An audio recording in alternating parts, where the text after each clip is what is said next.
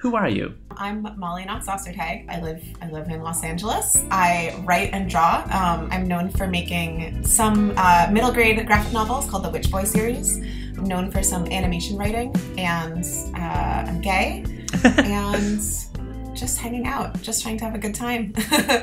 I'm about to turn 29. My birthday's in um, two days. So I'm like grappling with that. And yeah. What are the three things you value most in life? Oh, okay. We're getting like right right into the questions. I love it. Um I why are you, yeah, it's such a real question. It's 10 in the morning. Um, I really value uh, I think that I, my my personal like life theory at this point in my life is that human connection is the most important is like the point of everything. I think that like art is like ultimately about human connection. So that is kind of like my top thing is um, connecting with other people. I value creation. I value making making work and being able to sort of again that's sort of tied in because it's it's taking something that's inside your head and making it tangible um, and like sharing a part of yourself. And so I find that very uh, rewarding. Um, and I value, I think empathy is like the biggest trait that I, I I think is like the most important trait, being able to relate to other people. So I guess they're all very socially focused um, values. But yeah, yeah, those are my top my top three. Tell me a memory which shaped you. So I'm in okay. So I'm I'm um, in like Lord of the Rings brain rot right now. That's been my quarantine hobby. I've been going getting really really obsessed. Um, so I, that's like all I have memories of right now.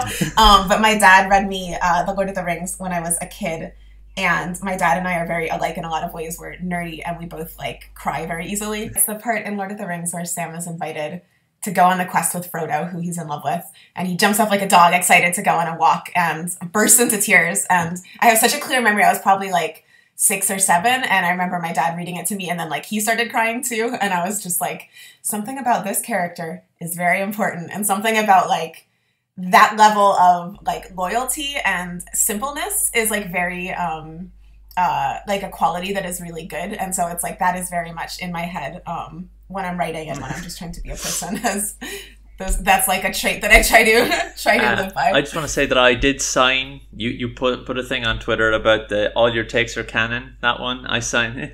I signed. Oh yeah. Thank you. Because yes, right Lord of the Rings uh, for me is is like a it's a weird property where I have a lot of memories connected to it, but I when I sat down and I read the books, I was like, these these are really really good. I I love these, and I love how much passion people can put into them. Like I have a couple of friends that are like really mm-hmm. interested in Lord of the Rings, and I had a cousin who was super interested, and like I'm, I'm just fascinated by it, and I, I I try and find I try and consume lots of Lord of the Rings media as if I really loved it because I want to find the spark, you know? yeah. Yeah, oh. yeah. It's very, and it's that kind of spark is so interesting to me because it, yeah, it's definitely the the property I've felt the most passionately about, and I think because I was like watching it and reading it when I was very young, so I was really, really obsessed, and it's like, yeah, I, I feel like that's it's very precious to love something so much. It's very special. What's your favorite color?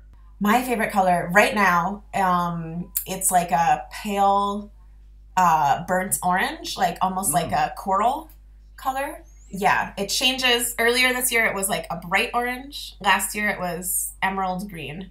So I feel like there's like colors that like turn up in my life, and I'm like, this is the lucky color for the year. So it's sort of a, a dark coral right now.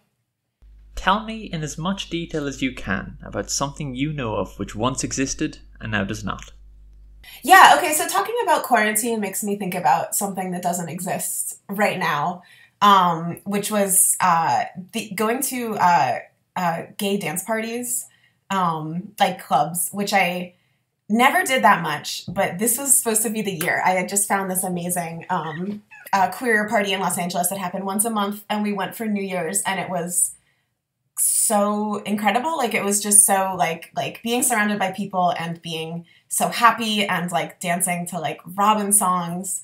Um, there was like a balloon drop. It was just it was like a really magical night, and it kind of felt like it, it felt like the kind of like like night that you like is very very rare and very special. Um, and then I was supposed to go again in February, And I remember standing in line, and the line was really, really long because we got there late and we're waiting and waiting. It was about an hour, and then we are like, let's just go home. Like, this is not worth it. And I, it doesn't happen anymore, of course. And it probably will not happen again.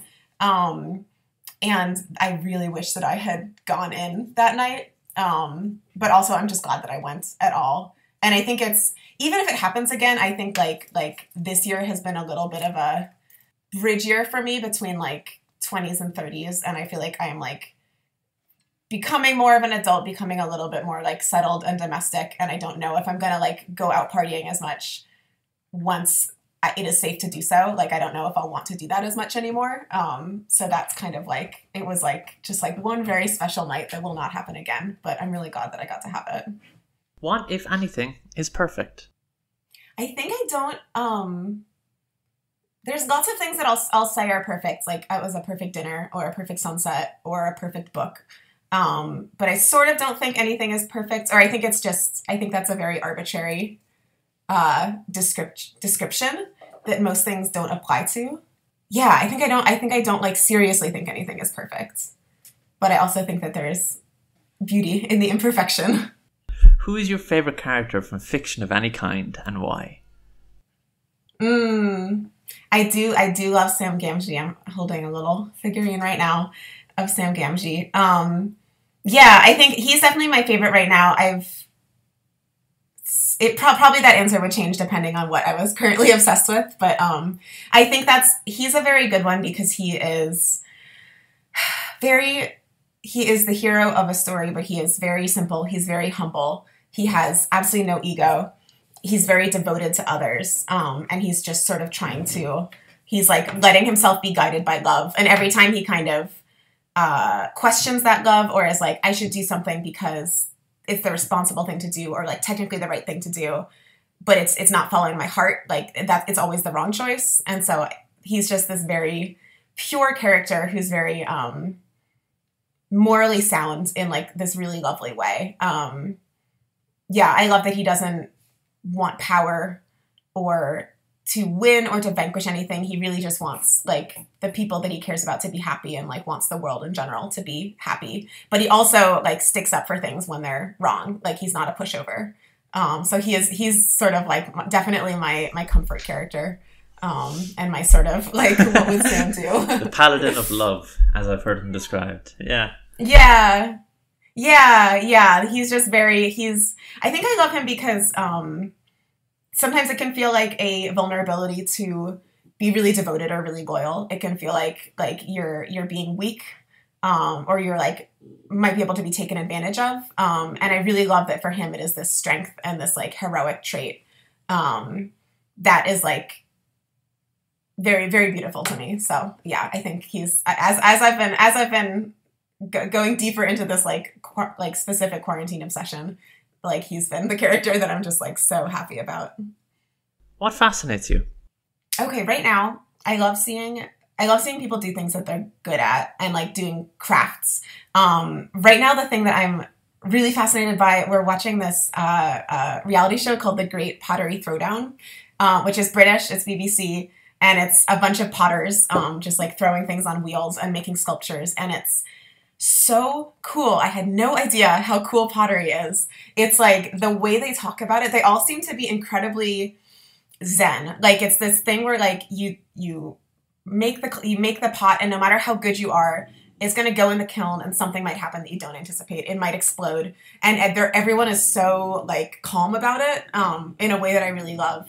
And it's also just this cool like like clay like coming from the inside of the earth and then being shaped and then being fired into something incredibly strong like and like we I, I feel like civilization kind of comes from clay because it's like we have to like have vessels to carry things. And so it's it feels like this very old very amazing craft.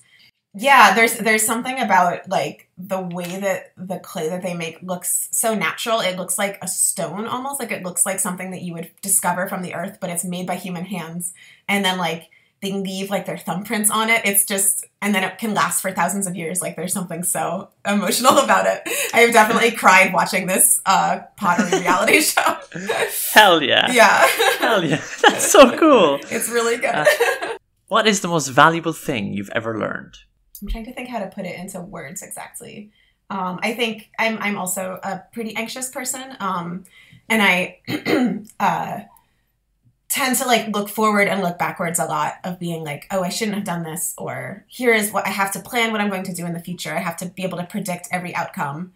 Um, and so it's a lot of kind of going backwards and forwards and not being um, in the presence. And I think this year and last year, um, just like a variety of things, both quarantine, also I got married and like my wedding was so fucking nice. Um, and just like it sort of helped me realize that in having an enjoyable moment, having a for I mean I said that I don't use the word perfect, but I do like having a perfect moment. You don't need to preserve it and it doesn't need to be something that there doesn't need to be like you can even regret parts of it later, but like if you had that joy and you had that perfect day, like it still matters and it stays with you. Um, so I think that that sort of has given me, I think I always used to have this anxiety over like, I'm having a nice time, but later I will not have a nice time. So I have to worry about that now, or like, oh, maybe I'll regret some part of this nice time and wish I'd done something better or differently. Um, and I think I, the last couple, last two years have been really just learning like, if you have the nice time, that is what counts. There's nothing guaranteed beyond that. Um, and uh, you just are sort of like, you just get to be lucky and like grateful to have it. It's like, I mean, it's, it's funny because it almost is this, um, for my, my kind of anxiety, I feel like everything is like perfectible. And so it's just like everything has to be perfect. And if it's not perfect, then like it's like almost like things have to be perfect as a safety mechanism because like if they're not perfect then i don't know what's going to happen and kind of just being just realizing it's like a little bit nihilist to be like nothing is perfect and nothing lasts and nothing is guaranteed and those are like very heavy but they also are kind of freeing because it's just mm. it's it's because you're just like when i get something special I was never promised this. I was never guaranteed this. It might never come again, so I'm going to enjoy it. Um, and yeah, there's there's something nice about that. It's been helpful this year. if you could name a hot sauce, what would you call it and why? Oh, hot sauce. it's a hard one. Um, I'm trying to think because I don't usually use hot sauce that much because I'm a white person and tender taste buds. Probably, I'm just gonna stay on Lord of the Rings because it's the only place my head is at. I'd probably call it um, the Cracks of Doom after the map, the the fires in which the ring is forged. I, I, think that would be good for a very hot hot sauce. Yes, yes, yeah. yeah. I, I love hot sauce. I love it so much. I just drizzle like everything. I'm like just oh my god! I don't want to taste uh, like I don't want to have a face. Just uh, it's so good. Uh, it's really funny, and, and, that's like throughout the show, the questions kind of alter and, and change like over the course of the 18 some episodes that I've done, but that has always been in the show because that's my favorite. I love that. That's my favorite question because I, I get some really like interesting and unique answers, and I, I love the, the cracks too. That's fantastic. cracks of doom. What would you name a hot sauce? Uh, what would I call a hot sauce? I see. I've never thought of it. Um, hmm, what would I call hot sauce? I think I call I call it hedgehog's kiss. Cute. because I I love yes. hedgehogs, and mm-hmm. they're my favorite animal. They just make me happy and and I just see one and I'm like that's a boy in his happy space and I just want to yeah. yeah I just I just want to give you a hug but if you hug a hedgehog yeah so hedgehog's kiss because uh, that's very cute. That's where, I like that. That's where my heart is at the minute. So yeah. yeah. What is your most prized physical possession? So it's, I'm trying to think of what it would be. I have a lot of I, I I've started collecting um like art, like original pieces of art lately from cartoonists and illustrators that I like, and so I have. I, I'm not sure which one is my favorite, but I, I have a lot of these, you know, original pieces that are just it's so special to have the unique version of something and to have like the version that, that the artist touched. Um, and I think especially in like digital, like most art is digital. All the art I make is digital. So I'm so amazed when I have a piece. Um, I actually have this. It's on my wall. It's the cover of a um, Tamora Pierce novel. Oh, which wow. I loved when I was a kid, and um, I just love this artist so much. This is like colored pencils, and it's so beautiful and so detailed and tiny. And I um, like wrote to her Uh, her name is Marilee Heyer, and the piece is called In the Hand of the Goddess. And I sort of found her website and I saw that she had originals for sale and they weren't that expensive. And I, I, but I couldn't find her email or anything, so I sent her like a physical letter because she had her mailing address for some reason on the internet and we like exchanged a correspondence and then i finally finally she like sent it to me um and so that's there's something very very special that's one of my favorite things I love. i have I, my handwriting sucks, but I love writing letters so much. yeah I love it. There's something tactile about like, hello, I hope this letter finds you well, and just Yeah. sending. I, I exchange letters with uh, a friend of mine. We we make a point of like at least once a month sending a letter. it's Uh, really sweet what inspires you?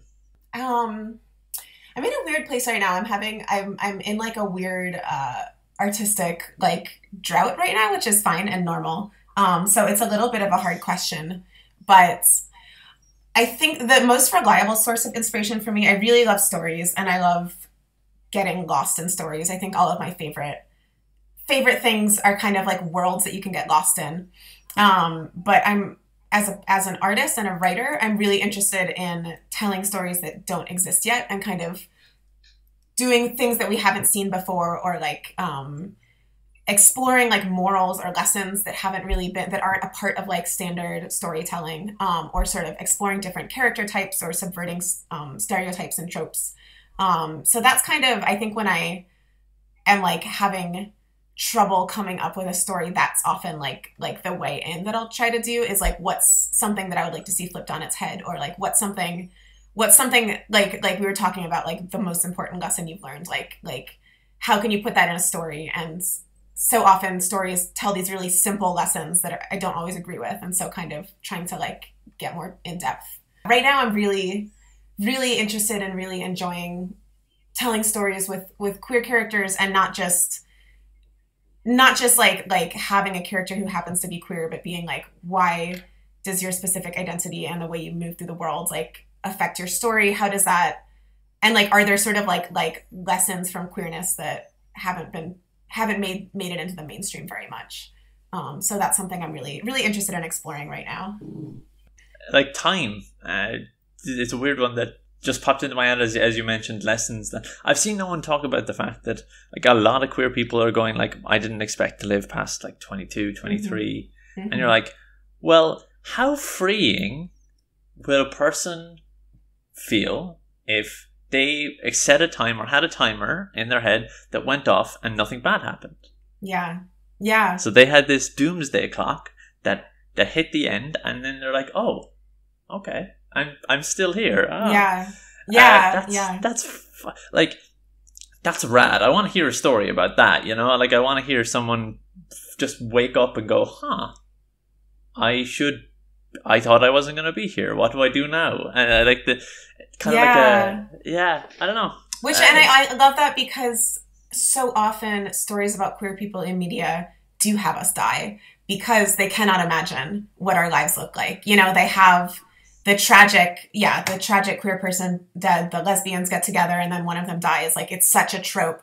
And it's it's because these writers do not know what our lives look like and because we almost don't know what our lives look like. And so it's yeah, it's really yeah, that's a really, really emotional thing to explore yeah i'm interested in it with relationships and romance too and just just the ways in which it's different and the ways in which like so often when people are trying to write a queer romance they're still um still sort of writing a straight romance and just like like changing the characters in it and to be like actually there's these levels of difference um that are so so interesting and like so like have barely been explored um so Mm. that's really fun to me Did you ever have an epiphany? If so, what was it about? Um, I think uh, uh, one time that I remember having a really specific epiphany. Um, so I'm going to give context. I know that you interviewed my friend Brennan Lee Mulligan a Mhm. while ago. Did he talk about like LARP camp Wayfinder Yes. at all? Yeah. So we, I know Brennan because we both went to live action role playing summer camp, which was like a very formative and very complicated experience. Um, but one of my sort of clearest like memories of that time, I think I was a late teen. I was probably like 17 or 18. Um, and we were doing a horror game. So it was very much like horror genre. I think the premise was um, we were a group of like school kids and teachers on a field trip, and our bus had crashed um, in the middle of this like forest cult that was doing a wild hunt and so like a bunch of us were gonna get sacrificed um and they were like summoning monsters and stuff and it was really really scary um and I got so wrapped up in the story in this way that I didn't usually. Like I usually was sort of aware that I was playing, but this it was like you know a real world. I was just playing someone like myself, and so it really felt like like I was maybe like getting hunted through the forest, and it was such a clear. I had such a clear um, feeling of like, oh, I do not want to die here, and I really might die, and like I have to do everything I can to survive. And I think like that's such a it's like that's a very um, you know most most people have that. It's like an animal instinct. But i had never felt it before. Um, consciously like i just never had thought of it. And i think i've been surrounded by some some death and some um, people who were like uh, trying to self-harm and so it was like that realization it like in that time and in that time in my life was really really important of like oh i'm going to fight very hard to hold on to that this and so that was like that was big and it was from it was from larping Did Did you get sacrificed or did you get escape? sacrificed Ah, it was so scary. I was so upset.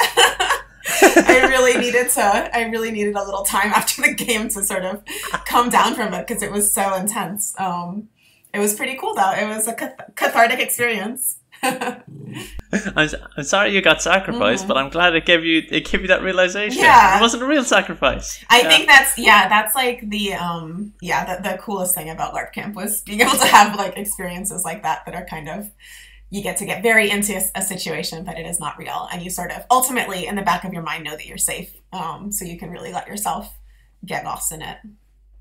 If you could say all of your work had a theme, what would that theme be? The theme of my work is always about rejecting the things you think you're supposed to be or do, um, and finding connection with other people, um, which I think is, yeah, is, is is like those are like the lessons that I like am also trying to learn in my life. So I try to put it in my work to like work through it. Isn't it so cool that we, in work we can kind of calcify beliefs that we don't yet have in the hopes that we will get them? Yes. Like Yeah. when I'm writing like poetry and stuff, I'm like, well, I don't really know if I believe this. I'm I'm actually way sadder than this poem lets on about this uh, topic. But if I say it enough times, I can maybe convince myself Yeah. that it. Yeah. Um, no, I legitimately gave like learned some lessons about love and romance from writing a Sam Frodo fan fiction. like I truly I'm like it's the best thing I've ever written. I don't know how to put it into like something I can actually share with people, but it's like I worked through these like themes of love that I had been struggling with personally for a long time and it it's it's amazing that you can do that. You can sort of trick yourself into learning lessons. What makes you smile? Um, lots of things. I love to cook. I love. I think I already talked about dance parties in the kitchen to musical numbers. I love to. I, I never used to sing, and then um, my wife sings a lot. Um, and has a much better voice than me, but we sing a lot together, which is makes me really happy. Um, and I love when people. I love watching TV when people are very nice to each other. It really gets me. um, I love uh, I love my pets and like saying good morning to them every morning. Um, right now I have Winston, my dog, just like I think he's dark, so you can't really see him, but he's like pressed into my stomach right now. Um, yeah, I love. I think the most like wholesome and pure thing that I do is go to the farmers market and get flowers. Like pretty much every week as often as I can. And the, I really love the, the guy who sells flowers there. And we always, I'm just like, it makes me feel like I'm in like a cute indie movie or something to be like walking through my neighborhood with flowers. But it's just like, it's like little, very little things where it's just like, this is so pleasant and sweet and beautiful and like uncomplicated. Um, yeah, that's, that's usually what makes me smile. How do you feel about death? I don't, I, I haven't, I don't know. I haven't had to encounter it for a little while. Um, whenever I've encountered it, it feels like this like very um very big, very powerful kind of like unknowable thing. Um, and so I'm kind of curious, like in that sense. I'm, but it's I think it's scary because I'm a human being and an animal. Um, yeah, it's it's interest it's interesting. I definitely um I think like the the closest I've been to it was like having a close friend um, pass away in kind of a dramatic way, um, and just feeling like it made me so aware of time. Of like there was this moment when he was alive, and then there was a moment when he was dead, and then there was a moment when I heard it when I realized that he was dead, and like there's no like you cannot go back and forth between those moments even though they feel so close um so that was kind of that was very is very intense um yeah it's it's Hmm. something that i think it's something i'm very interested in I'm kind of like every time I ask this question, I'm like, because I kind of got over. a- A guest helped me kind of get over my own fear of death, but loss is a different thing, and I don't know. I'm hoping someone will eventually say something to me that'll be like, "Oh, maybe I'm not going to be afraid of losing anyone." Yeah. I don't know. Yeah. yeah yeah, i think it, it really makes you um aware of the passage of time in this way that's really feels it feel it's just so uh br- brutal i guess and very like you cannot Mm. change it but it also i mean i think it sort of goes back to what we were talking about before about mindfulness and being present and how it just is it's not a bad thing always to remember that you could lose everything like because it Mhm. it's it's that things are not guaranteed but it's yeah it's it's very it's very emotionally difficult as well Like the the Stoics. The, so I'm a big into philosophy. Mhm. And the Stoics had this thing which was memento mori, you know, remember you will die. Every single day when you're like hugging your wife or whatever, you're supposed to remember that this could all be gone. And I'm like, I can't live my life like Yeah. that. I mean, I, Yeah. I can't. Yeah. But I mean, it, suppose, it supposedly helps, but I can't, I can't live my life like that. Tell me about something you learned recently that amused you. okay let me think about what i've been up to. Okay there's something i haven't told this to almost anybody. It's so funny though. How many people do you have like a lot of people listening to this podcast? Okay. I'm, I'm very small. okay like my, my, my most recent um my most recent episode got like 36 listens. Okay, cool. Okay, this will be like a Yeah. little nugget for for people who who are paying attention. Um, so and it's going to be another Lord of the Rings thing. It's just that's all that's all I've been doing. Um, so that's cool. yeah. so um, I for some reason, uh, Sir Ian McKellen, who plays Gandalf in the movies, followed me on Twitter. I don't know why. I was just talking about Lord of the Rings, and I think he just really loves it. Um, and and I DM'd him because I I did. I was like, hey, I just love your work. Like, thanks for all you do. I didn't expect a response. I did not get a response until um a couple weeks ago. His like social media manager reached out to me, and they were like. So nice to meet you. Like, like we're gonna try to like get you to do an interview with Sir Ian McKellen, which I don't know if that will happen, but that would be really cool. But they were like, I need your help finding this very specific piece of fan art. I know that you retweeted it, and it's a buff Legolas. and so I like found it, and it's this like it's, um by this artist uh, Cassie, who's uh, Curious Curio on Twitter, and it's like a shirtless, like muscular Legolas, and he's leaning against a wall, and then like shirtless naked Gimli is there looking up at him and blushing, and I just the fact that Sir Ian McKellen, who is a very old, like flamboyantly gay man and like incredibly respected star of stage and screen, has like his social media manager looking for sexy Legolas art, like because he was he was like, I need you to find this. I know that Sir Ian is gonna want to see it. Like, it made me so happy. I like got that DM and I was like alone um, on the beach and I was just laughing to myself like a crazy person. it just made me so happy. Um, so that is wonderful. Uh, I hope he doesn't hear this. I don't want to blow up his spot, but like, it's a good piece of art. Like, he has excellent taste. I've got, I got two things, Yes, right? yes. Because I have something. Uh, this is the one question I usually do answer, every, but I've got one thing that I know you're going to enjoy, Okay. and uh, Lord of the Rings related, uh, and then two. I've just got the one that I had prepared for this Okay. week. So, uh, the the one that I think you're going to enjoy is. I discovered I was on like a YouTube rabbit hole and I discovered someone had redubbed the orcs in Lord of the Rings with normal human voices. oh, My personal favorite part is when one of them says "gosh." gosh darn it. Like I love it. I also like just the Um, normal sniffing in it in the beginning. uh, the, the thing that, the thing that I, I learned that amused me this week, it didn't amuse me because of like the actual fact itself. It, it just amused me because of the general the way I learned it, which was that in 1995 South Africa won the World Cup, which is a very like standard bug standard Mhm. piece of information.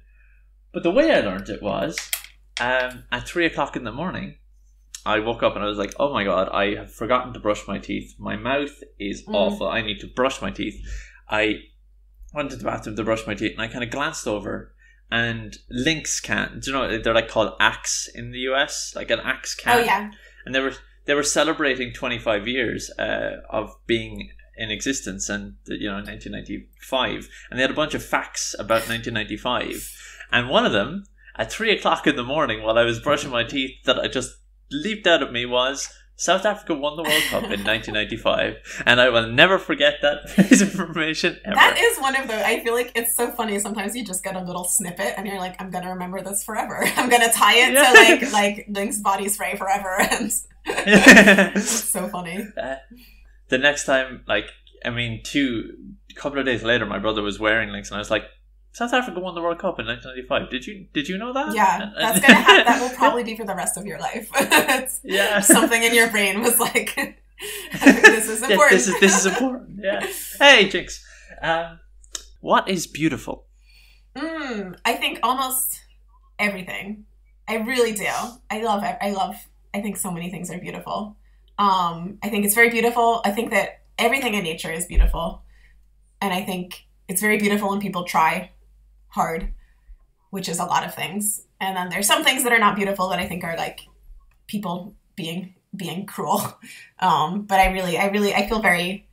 I just love. I just. I don't know. It's it's funny. I think. Um, I uh, realized that like I, I was driving to Los Angeles from New York. I was moving across the country, um, which America being very much bigger than Ireland is like a very long drive. Um, it was like took like eight days, and so much of it was through like Texas, which is very flat and boring, and like a lot of like like just like oil refineries and like so, like like gas stations and just not not much of a view, but it there was still something so special about it. I'd never seen anything. I never like driven in that part of the country before, um, and just driving all day.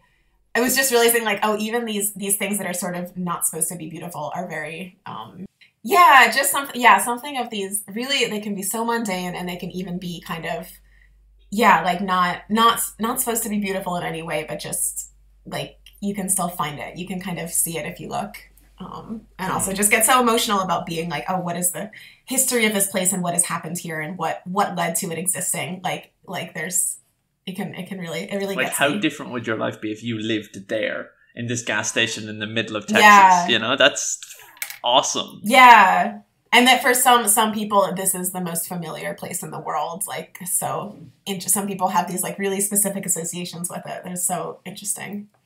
Would you describe yourself as cute and cuddly? I would, yeah, definitely. Got a decent amount of self confidence. I think it's true. Where do you feel safest? I really love my house. I think that's probably the answer, and especially, um, especially well, it's like this year, especially in quarantine, we've been watching so much TV. Um, but there is just something so lovely about like being on the couch with my wife and like lying on them, and or like having their legs on mine, and just it feels it just feels very centering um, and nice and like sometimes we'll be drawing or sometimes we'll just be watching like stupid reality tv um, but that is very much the safest the safest place to me If you were on a starship, what position would you hold? ooh that's fun um have you ever read the book uh uh long the long journey to a small angry planet Yes, I only read. I only read that during quarantine. Yeah, oh yeah. my god i love that it's one of my favorite books so i love the idea of the like um algae pods they, like the way that the ships are powered by like algae doing photosynthesis or something. I don't totally understand it but there's something very cool about um because i think there's a character who is like not a very nice character in the book but it's like his job to tend the algae and like make sure it's all in balance. And there's something really cool about that to me of like being it's like it's like more biological than being an engineer but still being like you're like caring for this living thing and that's making the ship go through space. So yeah yeah i'd be the the botanist or the gardener on the ship. How do you forgive? That's a really good question. Um, I'm not very good at it. I think I mostly just try to forget.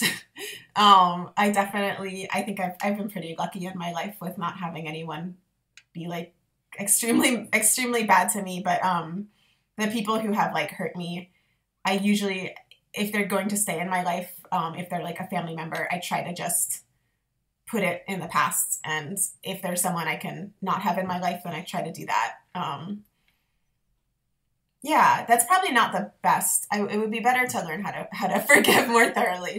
Um, I think when it's someone that I like really love, um, then it's it often like gets into sort of just like trying to like understand why why they've hurt me in some way or like why there's something to forgive um, and trying to see it from their perspective and like lessening it as much as possible um, yeah what is a feeling or experience you've had which doesn't have a word that you wish did Mm.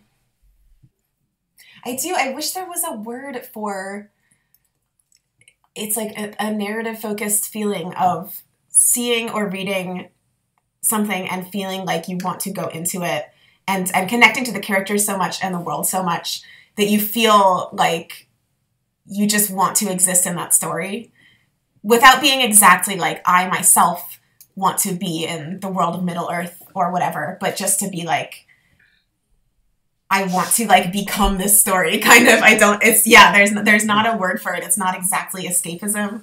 It's not exactly like projecting yourself. It's it's it's just this thing that I, I feel very strongly and I, I felt it a lot when I was a kid and I'm trying to like find things that I feel that way about again because it um it's it's such a nice feeling. Um but I, there's the, there's definitely fewer things that I feel that way about as an adult but it's just something where it's like this story is like an open door that I could walk through and like like ascend kind of um yeah. Uh that the, the that question for me comes up because um there's so many things where i'm like this is this exact experience is is so visceral. How yeah. is there not a word? Like listening to a song today now even i was listening to like a, a, a song that i just discovered like a day beforehand so it was really new um, it was starting to rain, so there was a tiny bit of rainbow. Mm. Um, I was walking through like beautiful countryside, and I was like, there has to be a word for. It's not. It's not like being in love with someone. It's just kind of the general yeah. feeling of being loved or loving, but not yeah. like. But not like there's no directional target. It's not like oh my god, this specific plant is super cool. It's like kind of a radiating feeling. I don't know. Yeah, I love. Yeah, no, very very much, and there's not a word for it. I feel like yeah, when I lived in New York City, I used to just walk everywhere, and there was that was like this very specific feeling of like walking at twilight and like all the windows being lit up and seeing all these people and walking very very fast for some reason just because i always had somewhere to like get, i was always late for something um, and just like feeling so much like oh my god there's like so many people around me and like i love them and it's so like everything is like blue and twilight and cool and it, it it's just yeah overwhelming and there's not words for those things. Do you think there is more good than bad in the world?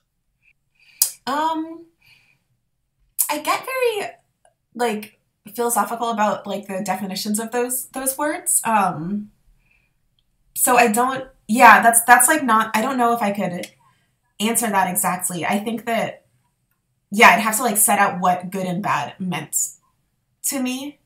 Um, because I think that a lot of a lot of good things happen for reasons and a lot of bad things happen for reasons and you delve into the reasons and it gets so complicated.